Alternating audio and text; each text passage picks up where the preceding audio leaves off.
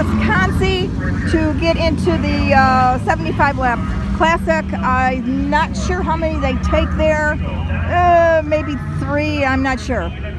And uh, now I'll be heading over for the super modified uh, semis. I believe there's two of those.